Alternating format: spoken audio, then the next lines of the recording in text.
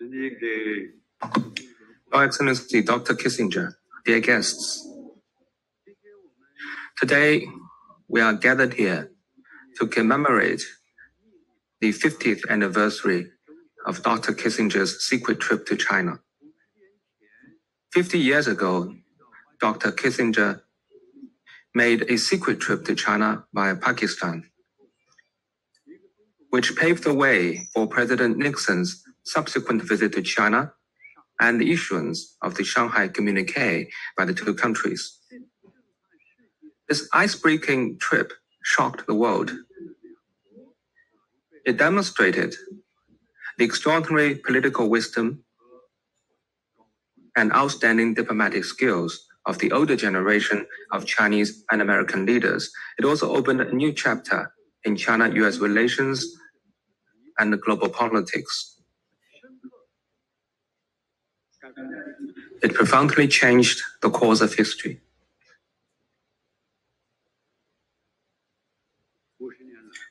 Fifty years on, China and the United States, two major countries with vast differences in political systems, development stages, histories, and cultures, have witnessed continued progress in bilateral relations despite ups and downs. Our relations have brought tremendous benefits for both our two peoples and greatly boosted world peace, prosperity, and stability. Since the establishment of diplomatic ties, China-US trade has increased by more than 250 times.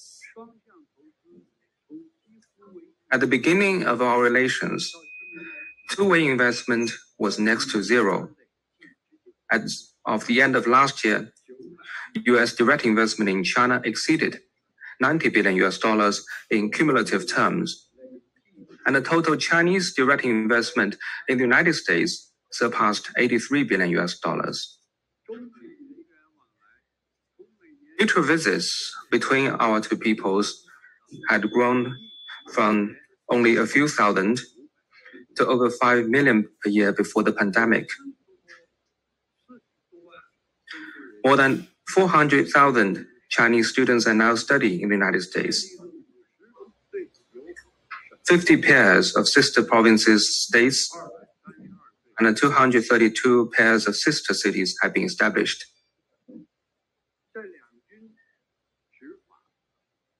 Our two countries have engaged in practical exchanges in areas such as military, law enforcement, culture, and subnational cooperation, and maintained close coordination on regional hotspots, including the Iranian nuclear issue, Afghanistan, and the Middle East. We have also carried out effective cooperation in counterterrorism, non-proliferation, counter-narcotics, poverty alleviation, peacekeeping, and other areas. Our two countries have cooperated in tackling the 1997 Asian financial crisis and the 2008 global financial crisis, and jointly facilitated the adoption of the Paris Agreement on climate change, making important contributions to global economic stability and recovery and international cooperation on climate change.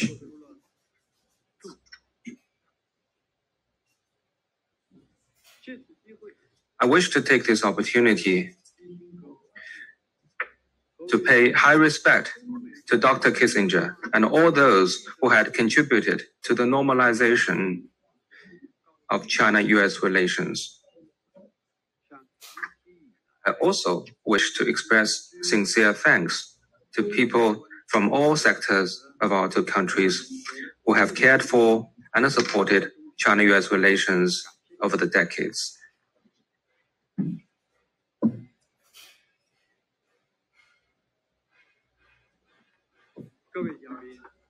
Dear guests, China-US relations now stand at a critical juncture. The future of this relationship is a matter of interest not only to our two peoples, but also to the wider international community. In his phone call with President Joe Biden on the eve of the Chinese New Year, President Xi Jinping underscored the importance for China the United States to follow the spirit of no conflict, no confrontation, mutual respect, and win-win cooperation.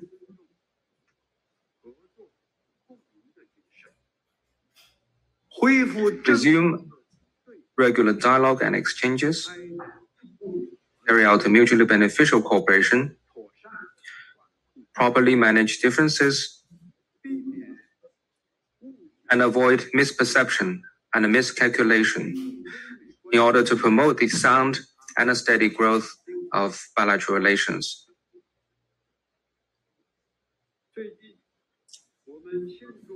Here in China, we have just celebrated the centenary of the Communist Party of China, or CPC. The very aim of the CPC's 100 year struggle is to pursue happiness for the people and rejuvenation for the nation. China's development is an opportunity for the world. China and the United States should be partners for common development.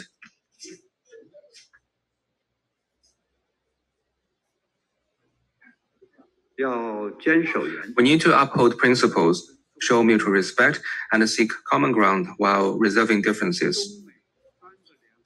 The three China-US joint communiques provide the fundamental guide for our two countries to correctly manage bilateral relations.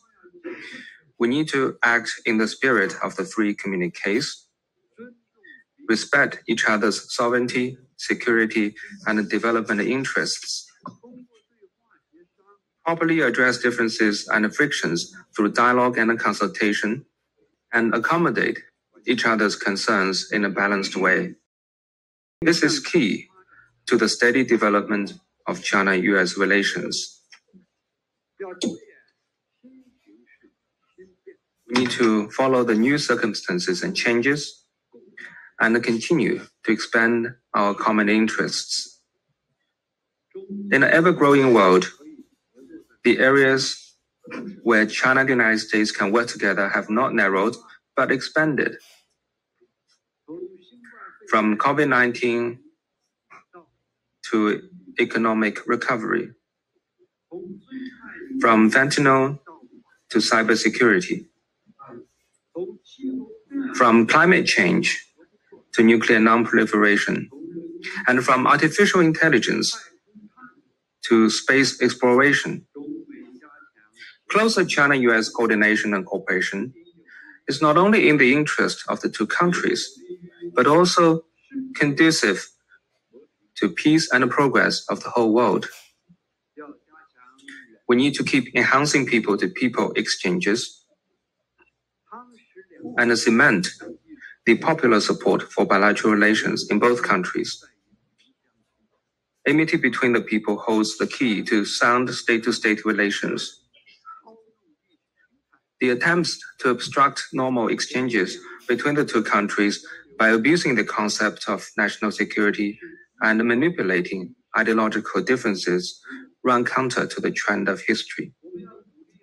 We need to encourage the people and the various sectors of both countries to conduct more exchanges and interactions and make greater efforts to learn about each other's historical and cultural features, thinking patterns, customs, and the choices of development path and system in order to build a strong foundation for bilateral relations. In setting its China strategy, the United States should avoid creating a vicious cycle of misleading and miscalculation. The United States is now making China an imaginary enemy in the name of competition and deliberately creating an atmosphere of suspicion, confrontation, and win or lose rivalry.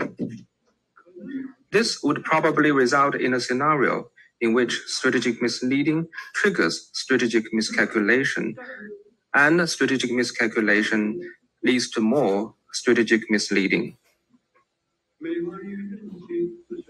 The US side needs to know that its biggest challenge does not come from the outside, and still less from China. But surely, from the inside, Dear guests, we live in a colorful world, and every civilization has its own distinctive features. The Chinese civilization and American culture are different in significant ways. But we can also find commonalities in terms of philosophy, life sciences, and human nature.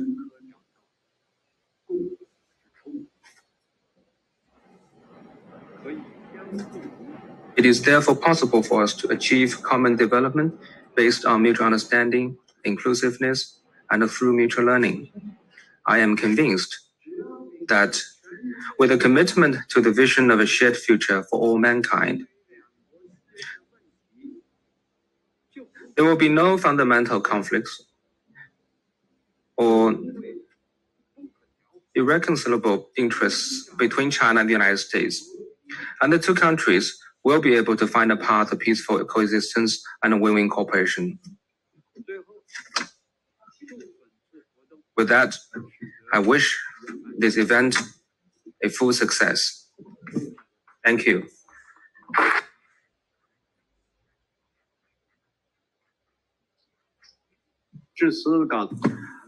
Well, that is my prepared speech.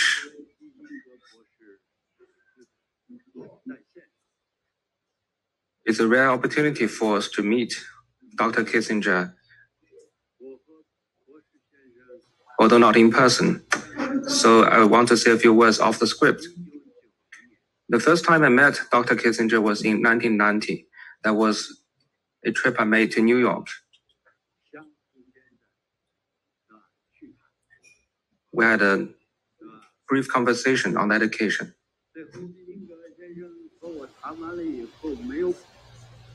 没有对我呀，哎，我对我的谈话表示 At the end of the conversation, Dr. Kissinger did not give any response to the points I made, but he said a lot of good words uh, on praises about my former interpreter.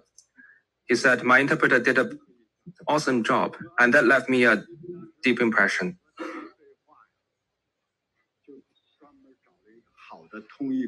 Because for the purpose of meeting Dr. Kissinger, I found a good interpreter, that is Miss uh, uh, uh, Miss Tang Jianshen, the, uh, the sister of uh, Madame Tang Wensheng, who is also present today.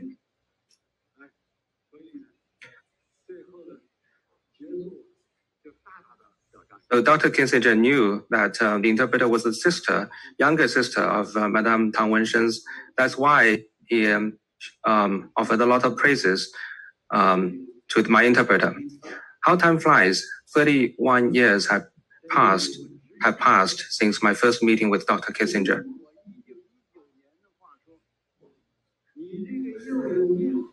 So I just want to repeat the point I made to Dr. Kissinger in 2019. For you, a person with both longevity uh, and good fortune, what's most important for you is to stay healthy and longevity is most important for you. I wish you stay healthy, Dr. Kissinger.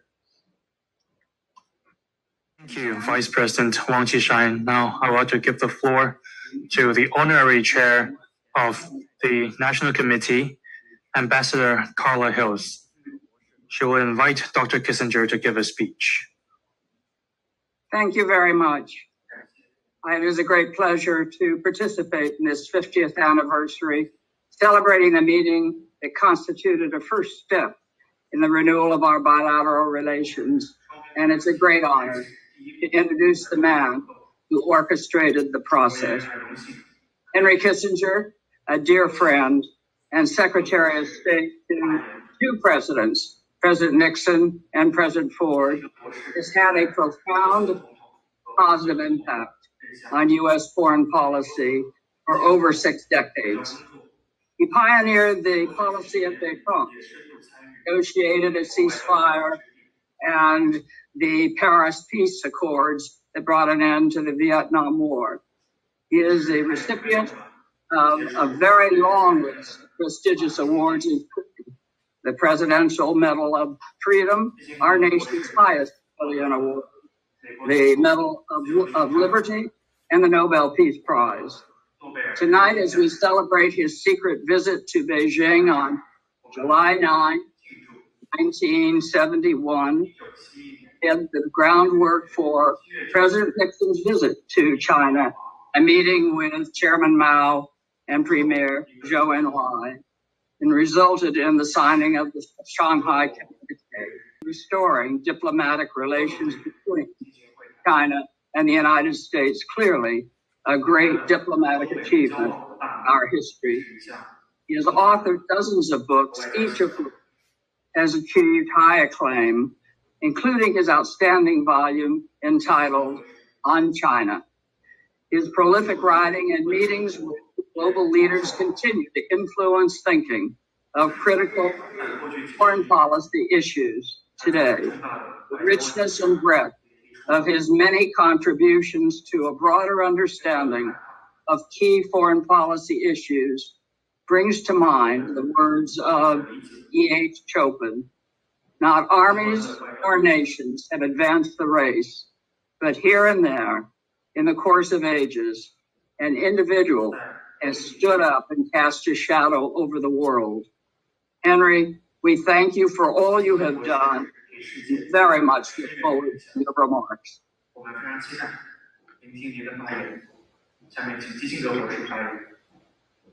Carla, Mr. Vice President, it is very meaningful to me to address this meeting in Villa 25 which was my first experience in China, and which I recall with so much affection and pride in the evolution that had followed afterwards.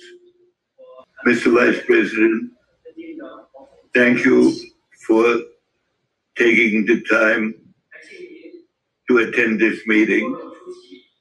I have taken the liberty of recording my speech earlier today, but I'm honored to be able to attend this meeting I will listen to myself and the rest of of this. So my gratitude to you, Mr. Vice President, from whom I have learned so much in our many conversations, and to let me express again how much the relationship to China with China means to me, but above all, how important it is for our two people, and as you pointed out, Mr. Vice President, for the rest of the world. And so, with your permission, I will turn you now over to the video I made only two hours ago.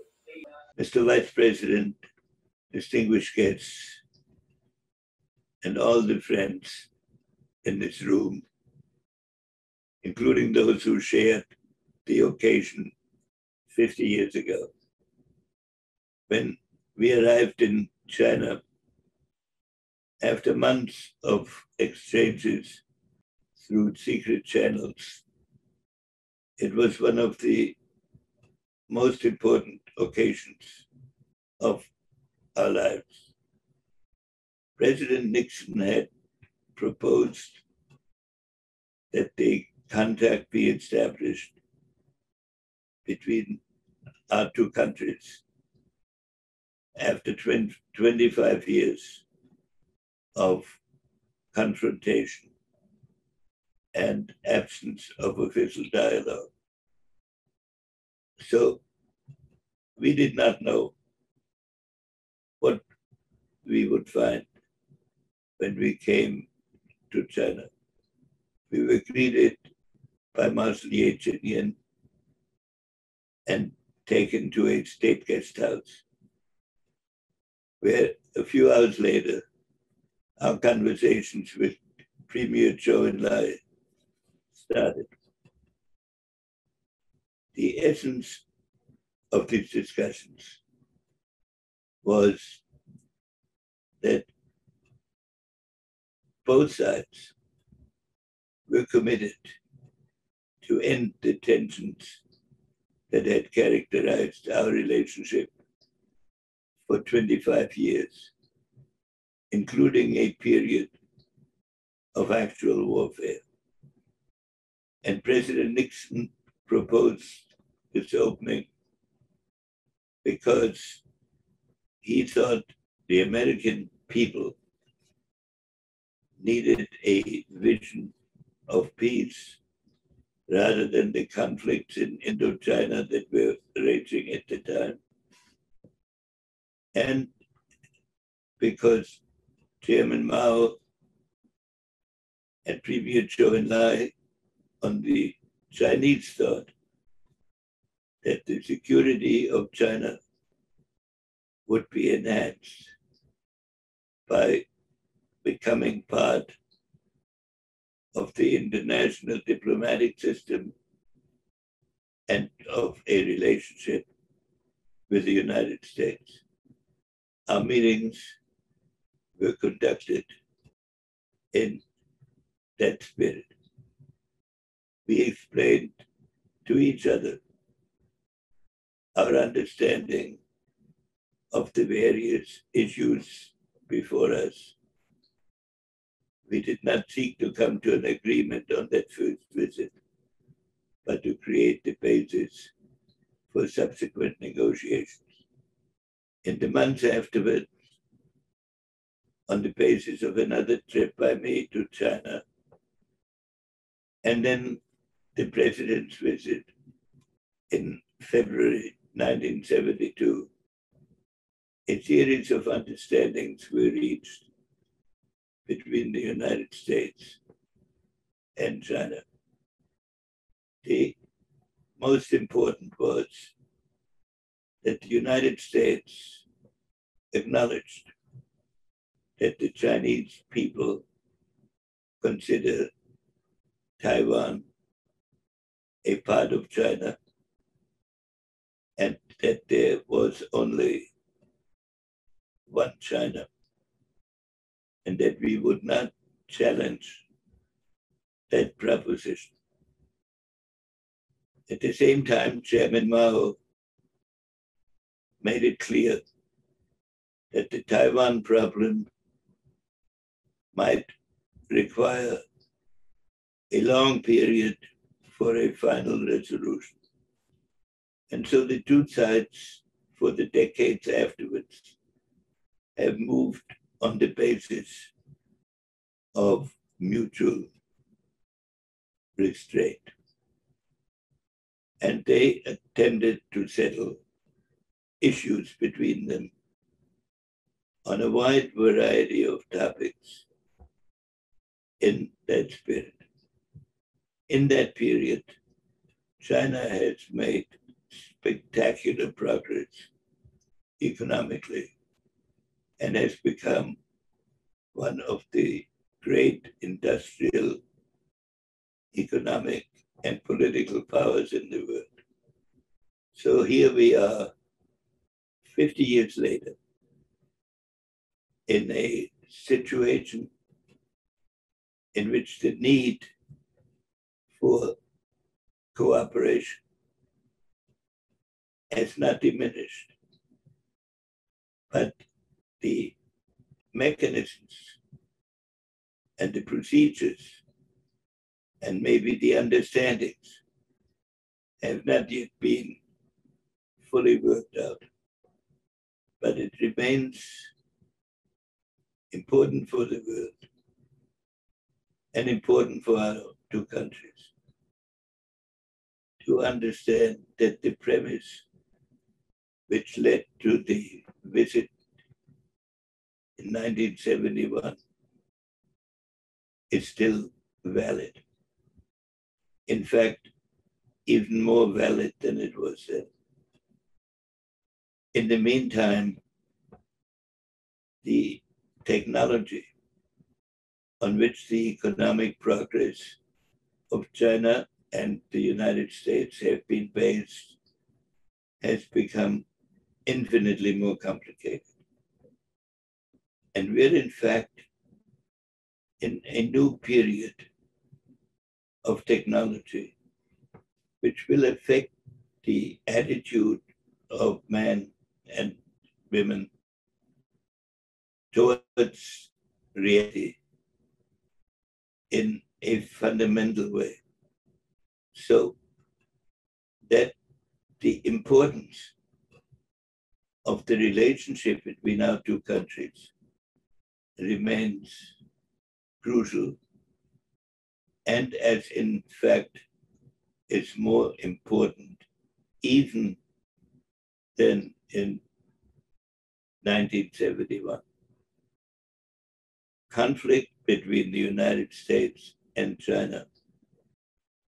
It will divide the whole world and attempts to line up nations on one side or the other will create divisions in the world and temptations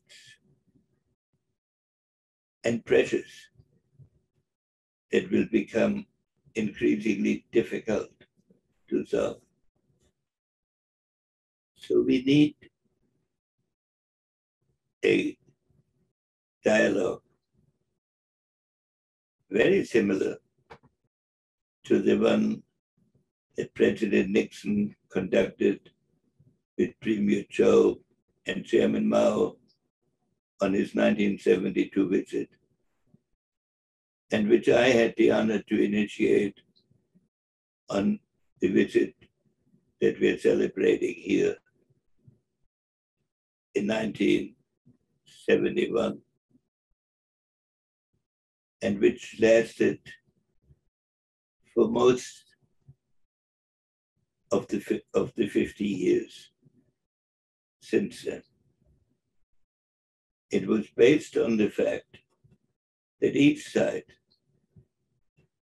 made a serious effort to understand not only the immediate positions of the other, but the evolution that brought both sides to the difficulties and challenges that had arisen.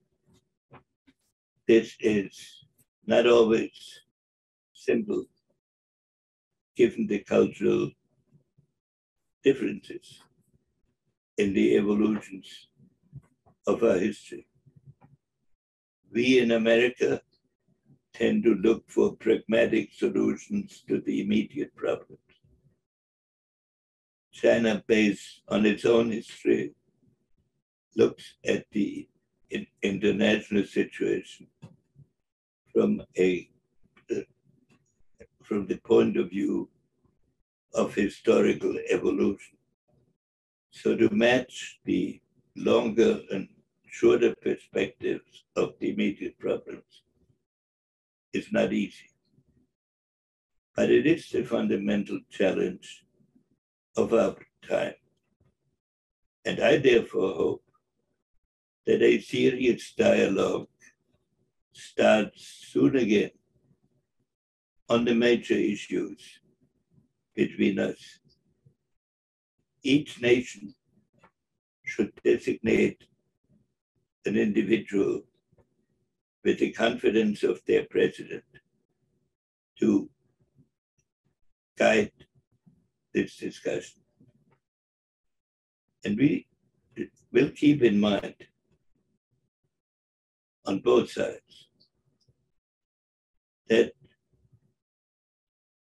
not every problem can have an immediate solution.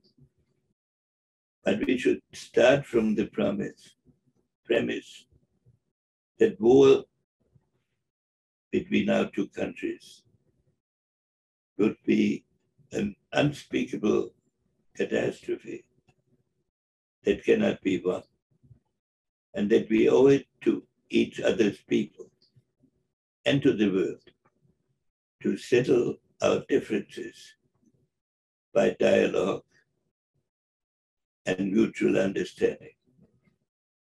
I have had the honor of several conversations with the Vice President who has preceded me in these in this event.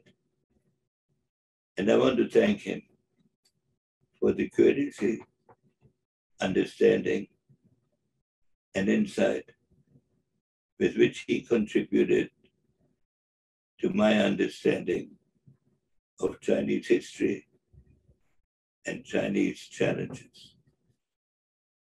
And I would like to think that I made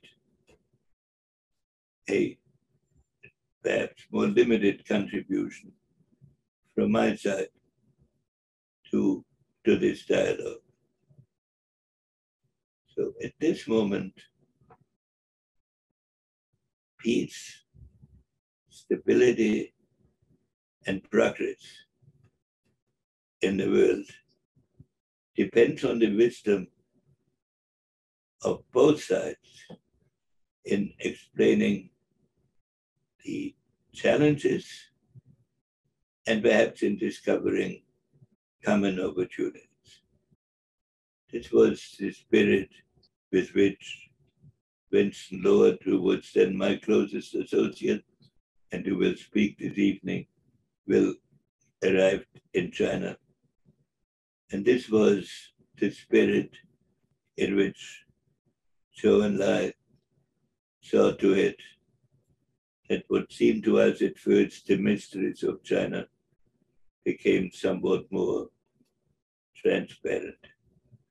And so I hope that 50 years from now, people may meet and mark this day as a starting point for fulfilling what we began as emissaries of our government and what the Chinese leaders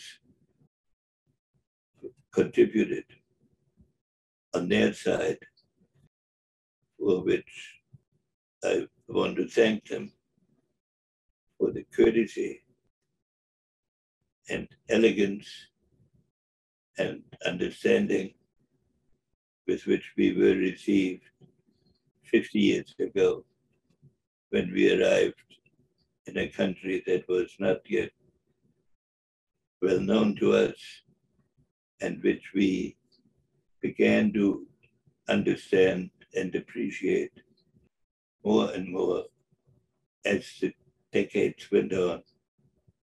And that spirit, I hope, will be preserved and strengthened in the decades ahead. So I hope that all my Chinese friends and all the Americans who are participating in this discussion keep this objective in mind that we need peace for our countries, ability for the world, and China and the United States can make a decisive contribution to this. Thank you for inviting me.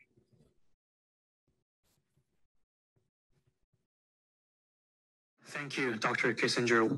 Once again, a big thank you to Vice President Wang Qishan and Dr. Kissinger. This will be the end of the first part of our commemorative event. With warm round of applause, we will thank Vice President Wang Qishan and Dr. Kissinger.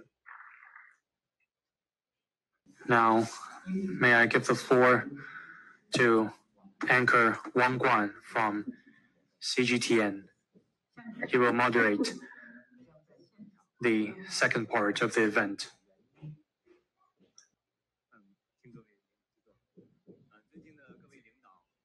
Distinguished guests, Ladies and gentlemen, friends, good morning. As a student of China US relations, I've been deeply involved in reporting and covering the events of China US relations. I'm extremely delighted and excited today. I had the opportunity to see that Dr. Kissinger is still very energetic today. Madam Tang and Mr. Lian are also with us today. Um, when I asked her whether I should call her Madam Tang, she replied that you can simply call me Old Tang, Lao Tang, as uh, in order to show that she's very kind to us. We will have two separate events to discuss the significance of the secret trip 50 years ago.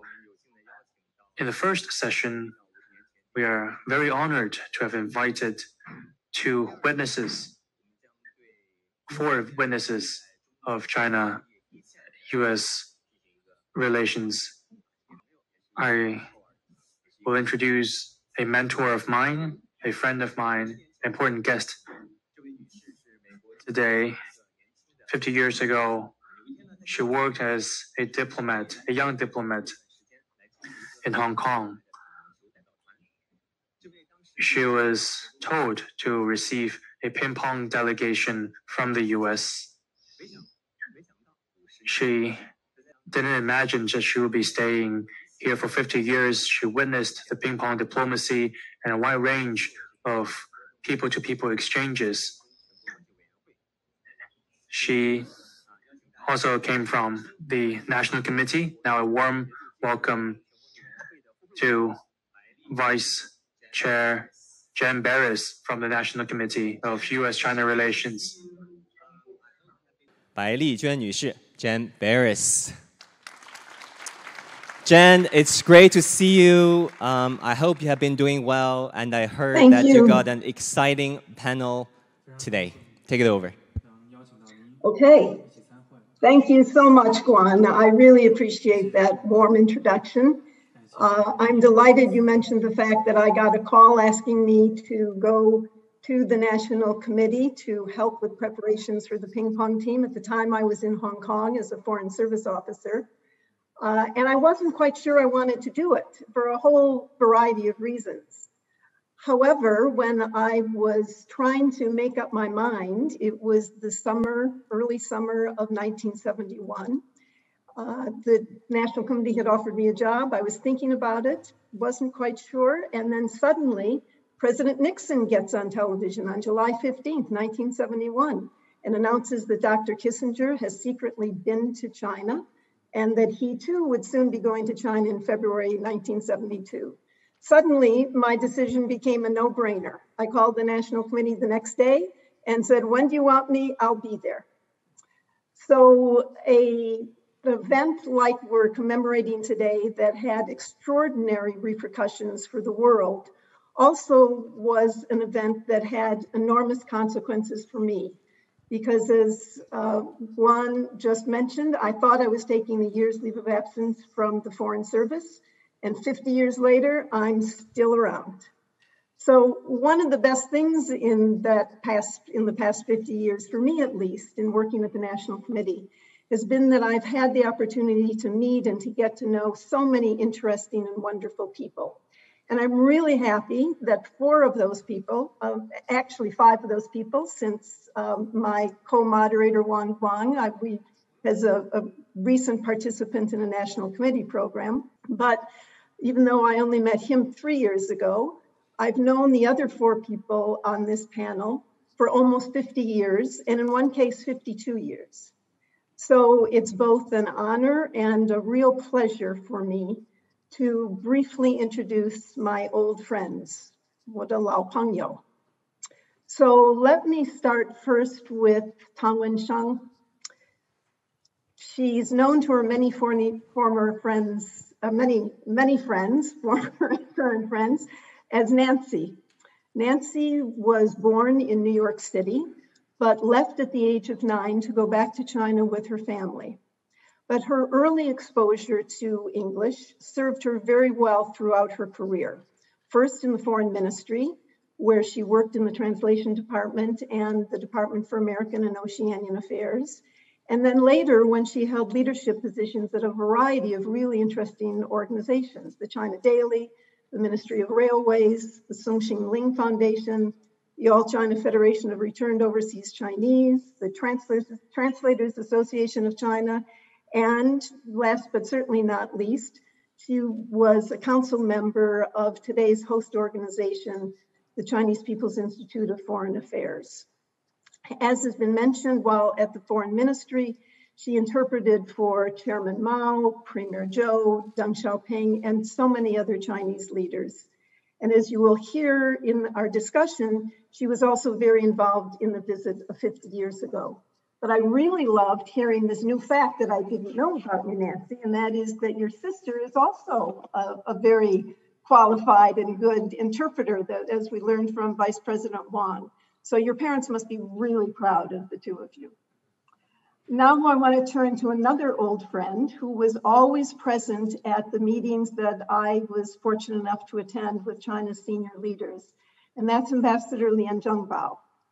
He joined the Foreign Ministry of Affairs in 1965, holding several important positions in the ministry, including Deputy Consul General in both Houston and the New York consulates.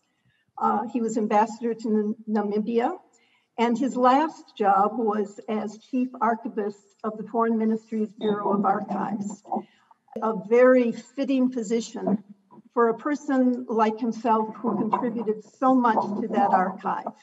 As Ambassador Lian took notes in shorthand for nearly 300 meetings between foreign guests and Chinese leaders, including Chairman Mao and Zhou Enlai and Deng Xiaoping and Jiang Zemin.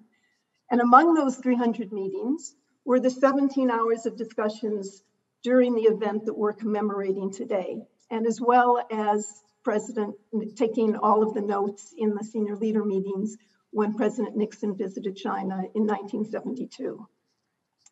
As for the American panelists, Winston Lord, our former ambassador to China and an assistant secretary of state for East Asian Pacific Affairs, has been at the center of US China relations for over four decades.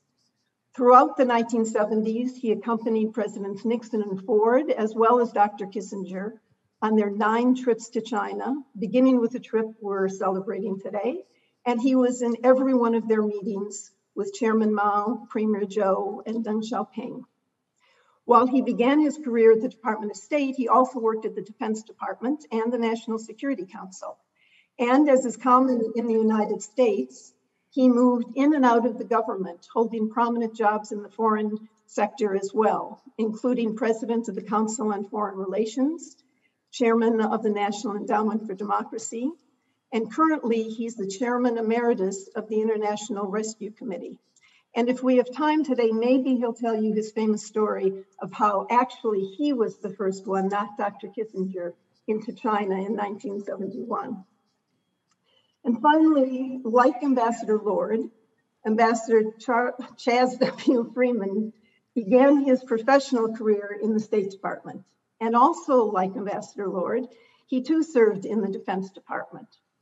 The other thing these two men have in common is that their innate talent was recognized very early and they rose quickly through the ranks.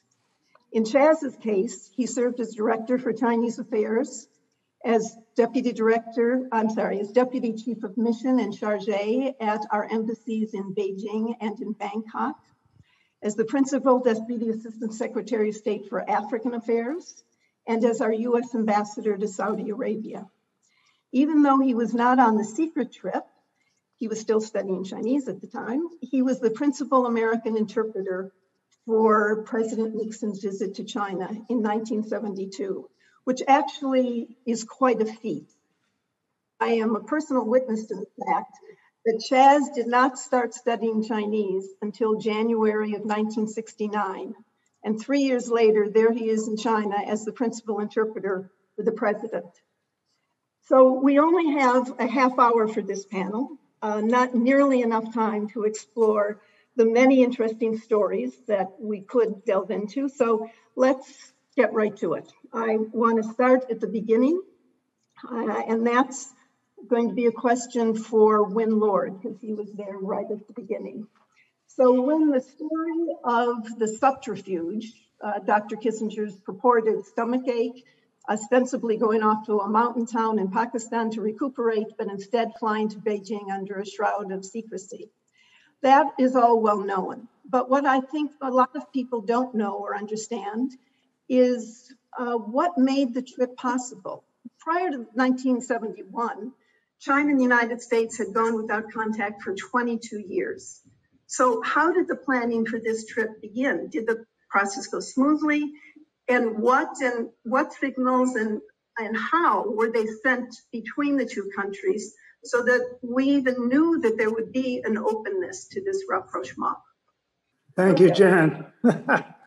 I am delighted and I am nostalgic to join everyone at this event in the very villa and perhaps the very room where I had the privilege of sitting next to Dr. Kissinger and across the table from Premier Zhou Enlai during this momentous secret trip 50 years ago.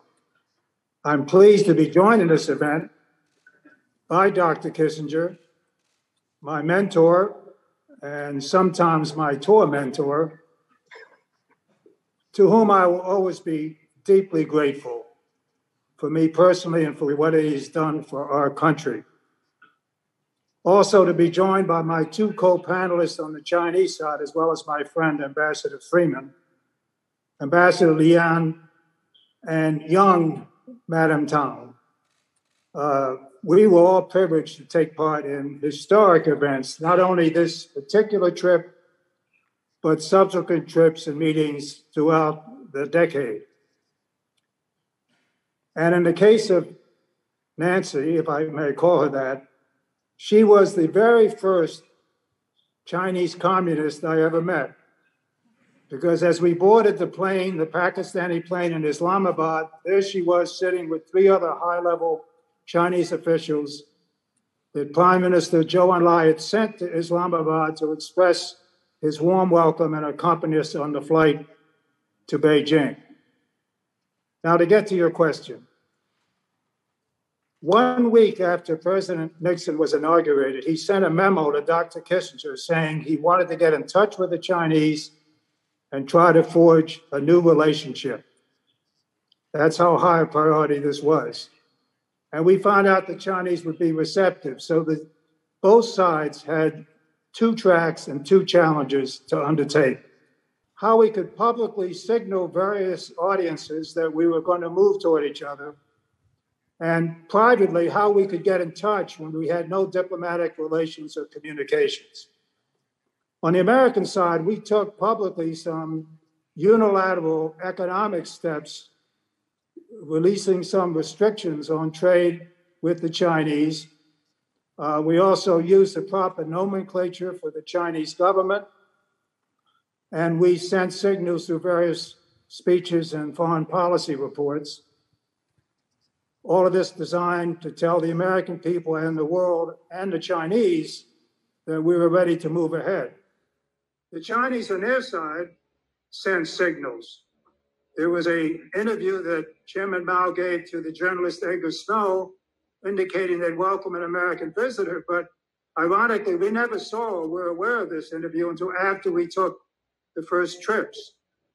But the most famous one, in which Jan Berris was uh, a part of, was the National Committee hosting uh, after the dramatic invitation uh, by Chairman Mao to the American ping pong team in Japan. And Zhou Enlai gave them a very warm welcome indeed. Now, this did three things that was typical of Chinese celebrity. First, it told the Chinese people and the Chinese allies and the world that they were willing to move ahead. Secondly, it was a public response to our private messages seeking to arrange the visit, reassuring us. And thirdly, it was demonstrating to the American public and the world that they were willing to be flexible, and it was incumbent for us to do the same. Let me conclude with the second challenge, which was the private communications. We tried to get in touch with the Chinese through various channels, including France and Romania. The Chinese and we settled on a mutual friend, uh, Pakistan. Uh, Zhou Enlai would write handwritten messages to President Nixon and Dr. Kissinger. They would be delivered in Washington by the Pakistani ambassador, and Dr. Kissinger and I would uh, make responses uh, through the same channel. Over the course of a couple of years, these messages set up the rationale for a secret trip and searching for ways to move on to a presidential trip. Thank you. Thank you, Win, for that background. And Nancy, I, again, I'm we're old friends, so I feel comfortable calling you Nancy. Um, you and three others were sent to Pakistan uh, to accompany Dr. Kissinger and his three colleagues. So, what was the atmosphere like on your plane as you flew from Beijing to Pakistan? In terms of the, what were you, were you fearful of what was going to come? Were you excited?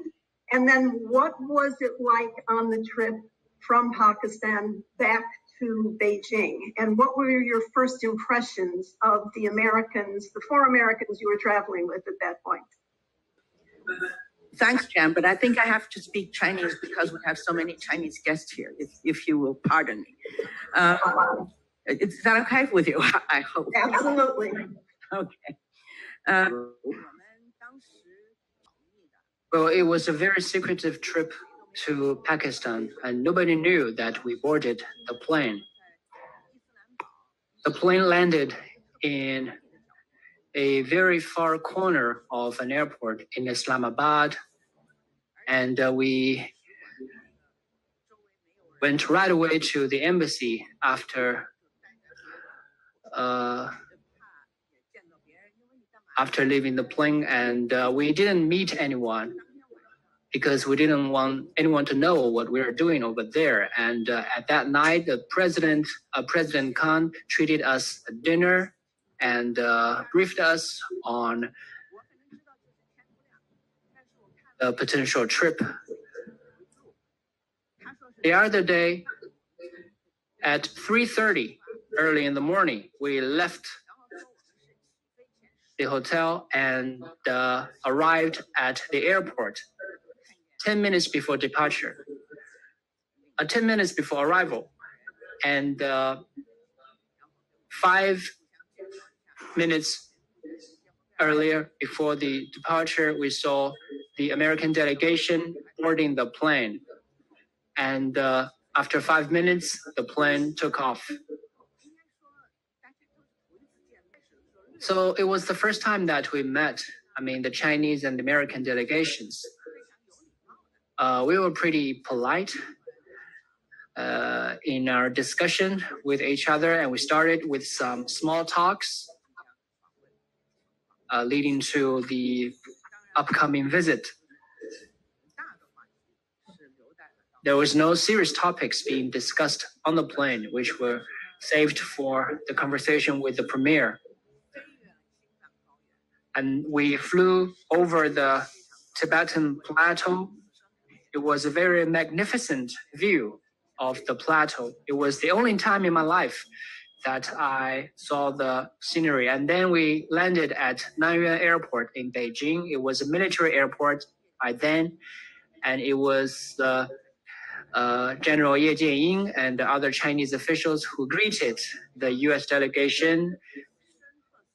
There was the uh, Hongqi uh, sedan, the red flag sedan, and nobody can see through the window of the car.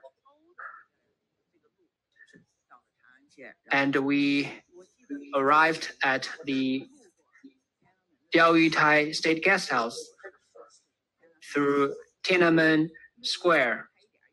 And uh, Dr. Kissinger peeped through the window to see the Tiananmen Square, but he didn't even dare to pull up the curtain inside the car.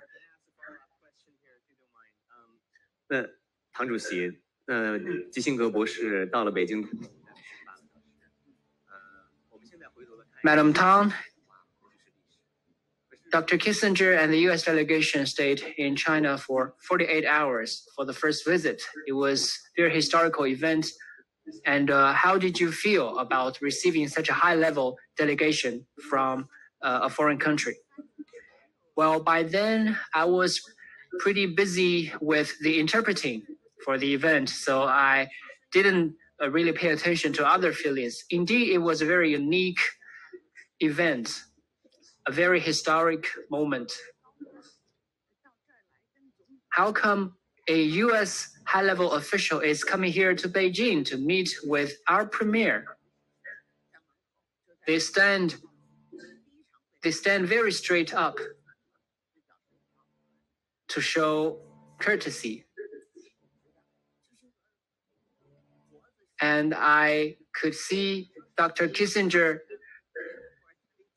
a pretty, uh, pretty tense standing there. And later he told me that because uh, he was wearing a shirt that was borrowed from other members of the delegation. and uh, the leaders shook hands and uh, they entered the venue for the meeting. Actually, it was not four people arriving in Beijing. There were two security details, and uh, they carry very big suitcases, black suitcases. Maybe it was all the classified materials in the suitcases. And the two security people, they never leave their boxes uh, suitcases unattended. Previously, there was no precedent that foreign security personnel were allowed for meetings with our leaders. And later, I figured that uh, those security people they were watching the Chinese side to see uh, what we tend to do to Dr. Kissinger and other U.S. leaders and perhaps maybe also for the safety reasons for the materials in the suitcases. Indeed, very intriguing event. Ambassador Lian, as we know, in the visit in 1971, Dr. Kissinger spent over 17 hours with the premier out of the script mostly. We know that note taking is pretty difficult, especially for Mandarin, as the note taker by then how did you manage to memorize all those details? How did you manage to note it down? And what is your feeling today? Thank you for your question. Back in 1971, during Dr. Kissinger's secret trip to China, and in 1972, during President Nixon's historic visit, I was present as a note taker in both meetings with Premier Zhou Enlai. That was a heavy task. I did shorthand. I could um, take notes of uh, more than 200 characters per minute. So I kept every word in the conversation between Dr. Kissinger, Premier Zhou Enlai, I was also present in Premier Zhou's dinner with uh, Dr. Kissinger. I wrote down every joke shared by Dr. Kissinger at the dining table. And Chairman Mao was very happy to see those jokes because the details matter. From the details, you could tell the attitude of the American side. And I think that experience was very memorable for me.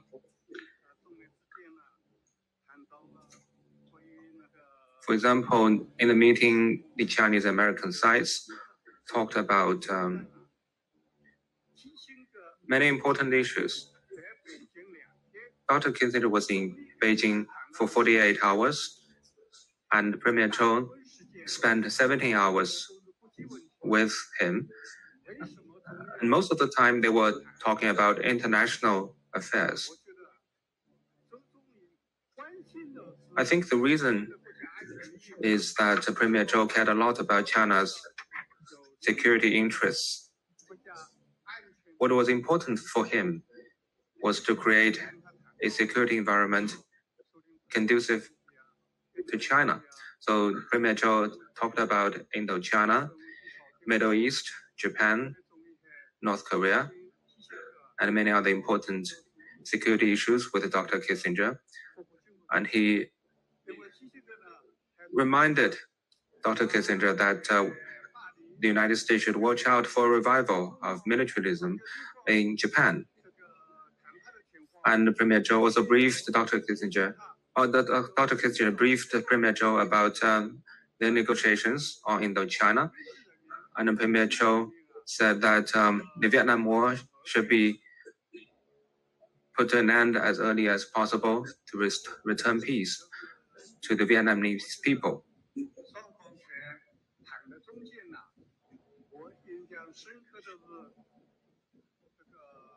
What I was impressed most about the conversation, about the meeting, is the negotiation that led to the issuance of the joint communique.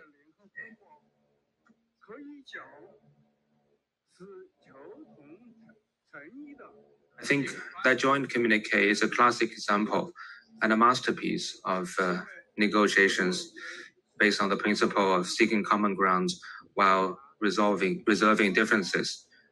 Because in the joint communique, both sides made their position clear, laid out their differences and the common views.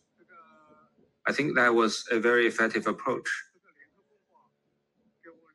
So the joint communique issued between the two countries left a deep impression on my mind. When Premier Zhou saw the draft provided by the US side, he said, well, there was something valuable in the draft, but um, um, it is important for us to follow the approach used by the Kuomintang, the Communist Party of China in Chongqing negotiations.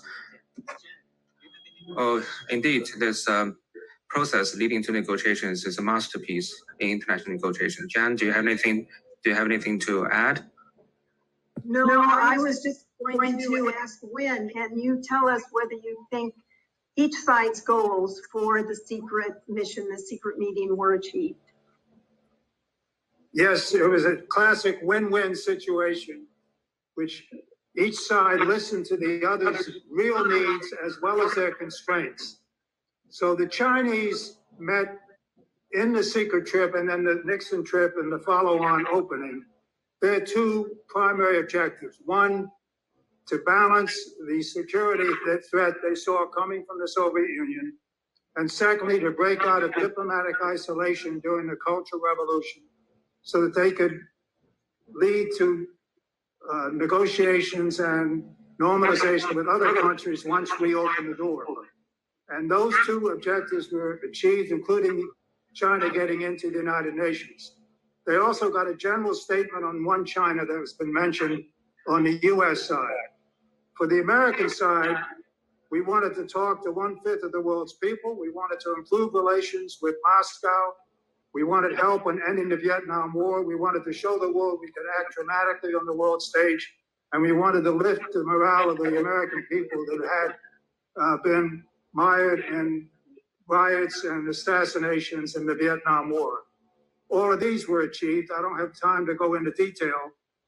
But we also, both sides agreed to put aside issues that couldn't be resolved immediately and to forge these common areas of interest. So, yes, it was a classic case of listening to one another and meeting each other halfway so that we could have, as I said in the Chinese parlance, a win win situation. Thank you, Win. And Chas, we haven't heard from you yet. So let's move from the past and the history of this event and talk a little bit about the current situation. So there's a very strong sentiment, as you know, centered in Washington, that engagement has only benefited China, and that since China has not turned into a Western style democracy, we should therefore disengage or, or decouple. So as moderator, I know I'm not supposed to show my own personal feelings, but I vehemently disagree with that mindset uh, and its underlying premise. So I just wonder what your take is on that, the whole disengagement, engagement. Well, I agree. Dr. Kissinger took exactly the right approach. And by contrast to the usual papers that one writes for diplomatic encounters, we started off with a description of what the Chinese position was, why China had that position before we got. And this expressed the fundamental element of the success that each side listened to the other, respected its opinion, may not have agreed with it, uh, but tried to understand where the other side was coming from. So I think uh, that was my dominant impression as a worker bee paper writer for the trip. Thank you, Chas. Guan, did you have something? Um, yeah, Chas, very briefly, if you can, I can ask a follow-up question. Um, you know, many in the West argue that the engagement they think failed because the Western world failed to turn China into a Western-style democracy, and that's why disengagement should be the option. Uh, how do you look at that? Objective to open itself up and take a different direction. It did so on its own, not because of the United States. You know, in 1971, 72, we were headed not into uh, a liberal China, but one dominated by the Gang of Four. Uh, and in the Shanghai Communique, both sides acknowledged that our socioeconomic systems and histories were different and said, nonetheless, we have things we can cooperate about. So let's set those differences aside and get on with cooperation.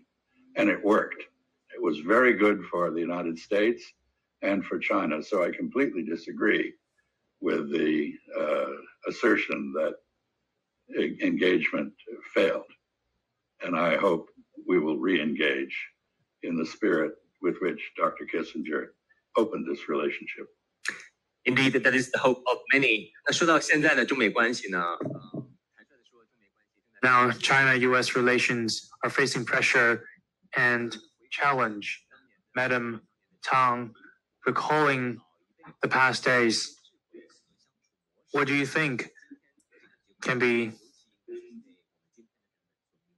or what do you think that can be drawn as, as inspiration?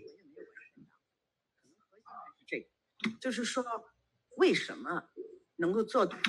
Well, let me say that uh, the core of this issue is that how could we sit at the same tab- table together back then, and how could we have uh, gone such a long way over the years? I think it is because of the political insight of our leaders who have recognized the essence of the issue. They have broad visions and they think in long terms. Both sides are clear that uh, they both uh, approached this, uh, uh they both uh, com- commit themselves to engagement because of their own interests. The two countries are different. Back then, I think the leaders did not have this fantasy that uh, one side could change the other. However, uh, our two countries enjoyed uh, converging grounds, and there is a lot big a big difference we can make starting from this convergence. But we do not have this illusion that uh, uh, we need to change the other side. Because it is ultimately a country's own independent decision of choosing the policies of its own the policies are not decided by foreign countries. It is because of the insight, the vision, and the decisiveness of our leaders who have enabled the progress of the relations. For example,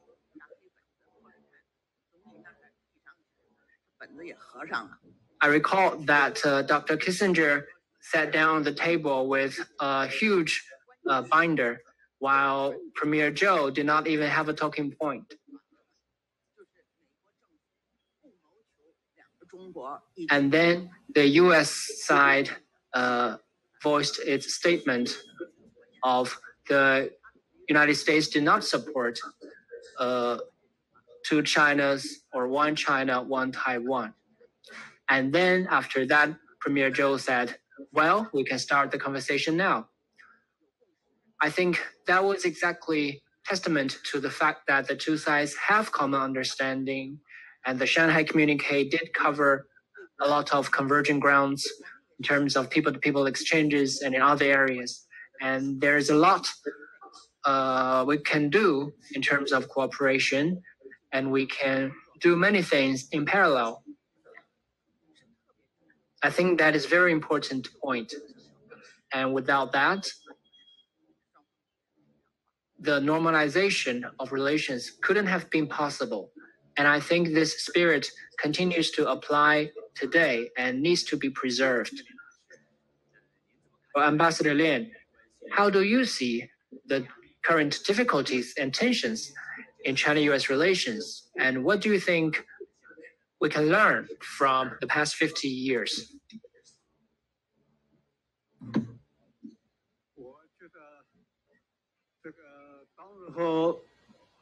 Think my deepest impression about that visit was both China and the United States had the sincerity to improve bilateral relations.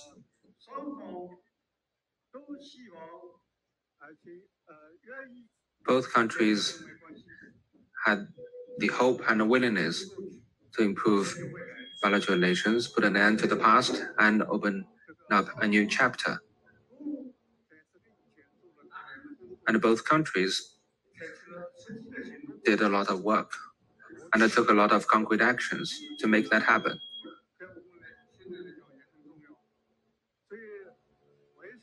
And that spirit is still relevant today.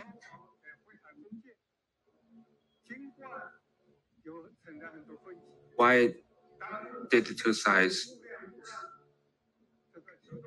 uh, why were the two sides able to seek common ground while resolving differences despite the disagreements over a lot of issues? That is something we need to think about even today. And the conversation and the negotiations at the time were conducted in a friendly and a harmonious atmosphere. Indeed, Dr. Kissinger's secret trip to China and President Nixon's historic visit to China were both a huge success, and that was a product of uh, joint efforts of two countries, and also uh, the demonstration of sincerity of both sides. Jen, the mic is yours. Jen, I would hand it over to you. Okay, I have other questions, uh, and I'm really sorry that we're not going to be able to get to them. But we've had such rich answers that neither Guan nor I wanted to halt our speakers. And my last question was going to be, um, what was each of your most memorable impressions of the trip? And I think that Ambassador Lian just in giving us, he foresaw my question and he gave us his impression, which I think is probably something that would be shared by all of our panelists. So I uh, want to thank our four panelists for helping us relive this extraordinary moment in history, uh, this event that took place 50 years ago today. One of the questions that I had wanted to ask uh, but really didn't have time for was whether our panelists, uh, either they or their colleagues who were involved in this momentous occasion, um, ever imagined that the seeds that they were sowing would grow into the deep and broad web of economic, educational, professional, artistic, athletic, health, legal kinds of relationships that are so deep and broad and and deeply personal. Uh, I don't. I if they were real visionaries, they may have foreseen it, but I think um, some of us have been very surprised and very pleased. And I share with Dr. Kissinger and everyone else who has expressed the hope that we can find a way to get back to the spirit that was exhibited by these visionaries and find ways to make the relationship more balanced and bring it back to ways in which we can find mutual benefit and mutual cooperation. Uh, we thank Dr. Kissinger and all the people who were so deeply involved in these endeavors. And I just want to end with a personal note. I'd like to ask Ambassador Lian Zhengbao if the next time I go to China, which I hope is soon, but it's looking like it's going to be a little ways off. But when I go, I hope you will take me to the Foreign Ministry's archives because I want to read your notes of all of Henry Kissinger's jokes. So hope that's a deal. Guan, turn it over back to you.